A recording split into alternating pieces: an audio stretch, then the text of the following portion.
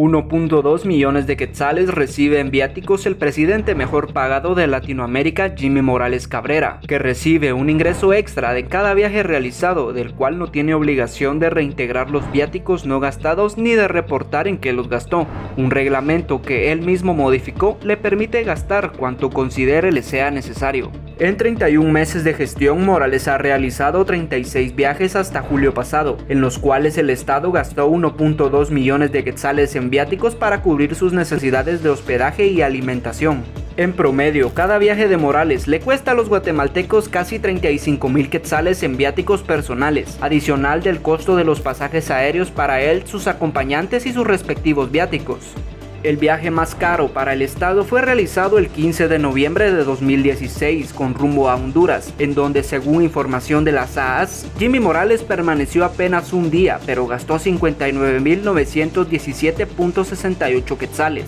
Lo gastado en esas pocas horas es el equivalente al salario mensual de 7 médicos con la categoría de médico residente 1 del Hospital San Juan de Dios,